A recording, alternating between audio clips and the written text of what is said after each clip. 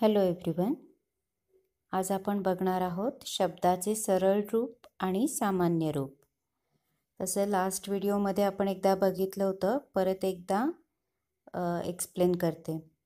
तर यापुढे जे काही वाक्य दिलेले आहेत ते वाक्य नीट वाचा. वाक्य आहे मी शाळा जातो. आणि दुसरं वाक्य आहे मी शाळेत जातो. दोन्हीपैकी कुठलं वाक्य बरोबर वाटतंय? मी शाळा जातो चुकीचं. आहे मी शाळेत जातो म्हटलं तर आपल्याला त्या वाक्यचा नीट अर्थबोध होतो म्हणून दुसरं वाक्य बरोबर आहे. आपण अजून काही वाक्य बघूयात. राम मित्राशी बोलतो. रेश्मा पालीला घाबरते किंवा कल्पना दुकानात जाते. या शब्दांमध्ये पहिलं वाक्य बघा. राम मित्राशी बोलतो. तर मित्र हे झालं सरळ रूप. म्हणजे मूळ जो शब्द असतो त्याला म्हणायचं सरळ रूप किंवा मूळ रूप. दोन्हीचा अर्थ एकच. मित्राशी. आता मित्रशी शब्द बरोबर वाटेल का? राम मित्रशी बोलतो. अर्थातच नाही.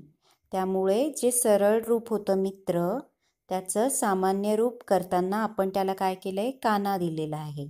म्हणजे मित्रा प्रत्यय लागण्याच्या आधीचा जो शब्द असतो तो सामान्य रूप येतो. ठीक आहे? आणि मित्र हे सरळ रूप मित्रा हे सामान्य रूप आणि शी हे त्याला लागलेलं प्रत्यय. आहे ठीक आहे? पुढे बघा. रेश्मा पालीला घाबरते. तर त्यात पाल हे सरळ रूप पाली हे सामान्य रूप आणि पालीला तर ला हे काय झालं आहे त्याला लागलेलं प्रत्यय आहे. सरळ रूप दुकान. दुकाना हे सामान्य रूप आणि दुकानात म्हटलं तर प्रत्यय लागायच्या आधीचा जो शब्द असतो ते सामान्य रूप असतं. ठीक आहे? आता मित्रला शी हे प्रत्यय लागले पाल पालला पालीला. तर ला हे लागलेलं प्रत्यय आहे. आणि दुकानात तर दुकाना हे सामान्य झालं होतं सामान्य रूप. आणि त हे त्याला लागलेलं प्रत्यय आहे. ठीक आहे? याचबरोबर अजून काही गोष्टी आहेत की ज्या तुम्ही लक्षात ठेवायला हव्या. नामांचा किंवा सर्वनामांना लागणारे प्रत्यय अनेक प्रकारचे असतात. सला त ने शी चा ची चे इत्यादी प्रकारचे हे प्रत्यय हे नामांना लागलेले असतात. फॉर एक्झाम्पल रुहीने सार्थकने काचेचा बाऊल किंवा चिमणीचे इत्यादी उदाहरणं आपल्याला बघता येतील. तसंच काही वेळा शब्दांचा प्रत्यय लागण्यापूर्वी शब्दाच्या रूपात बदल झालेला दिसत नाही. फॉर एक्झाम्पल जर इकारांती शब्द असतील जसं इकारांती स्त्रीलिंगी शब्द. इकारांतीचा अर्थ असतो की ज्या शब्दाच्या शेवटी ईची मात्रा आलेली असेल तो म्हणजे वेलांटी इन शॉर्ट. जसं खिडकी खोली चिमणी यासारखे काही शब्द असतात की ज्याच्यामध्ये काही चेंज होत नाही. म्हणजे आपण आधीचे पाहिले होते ना ते पालीला वगैरे जसं पाल शब्दामध्ये पाली झालं होतं तसं खिडकीचं खिडकीच राहतं. खोलीचं खोलीच राहतं. म्हणजे काय होतं? तर सरळ रूप आणि सामान्य रूप सेम राहतं. ठीक आहे? जसं खिडकीला काच आहे. आता खिडकी या शब्दाचा सरळ रूप काय होणार? खिडकीच. आणि सामान्य रूपसुद्धा खिडकी राहणार. ओके? खोलीला कुलूप आहे. आता खोलीचं काय होणार? खोला म्हणणार आहे का आपण? त्याला खोलीला खोलीच म्हणतो की नाही? कारण ते इकारांती स्त्रीलिंगी आहे ते लक्षात ठेवायला लागेल तुम्हाला ओके?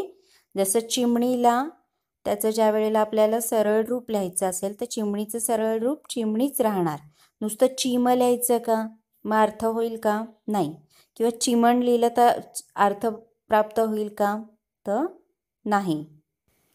त्यामुळे काही काही शब्द जे असतात की जे इकारांती स्त्रीलिंगी शब्द आहेत त्याच्यामध्ये फरक होत नाही. फरक होत नाही म्हणजे काय?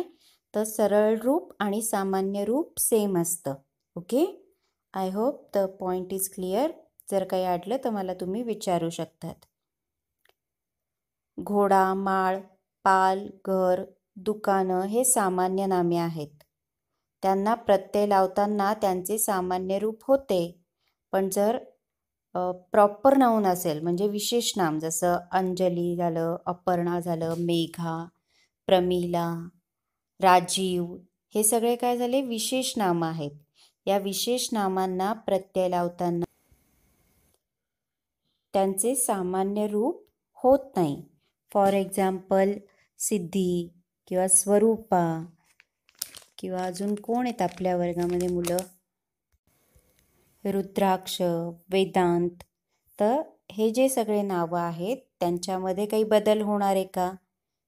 काही काही वेळेस आपण त्याची शॉर्ट फॉर्म करतो पण प्रत्येक वेळेला ते होत नाही. ते तो शब्द जो असतो जो विशेष नाम असतो त्याच्यामध्ये चेंजेस झालेले नसतात.